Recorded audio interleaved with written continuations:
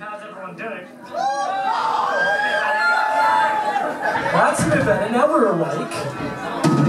This next one is Ryan's favourite, only because he actually has to do something. This is my friends over you.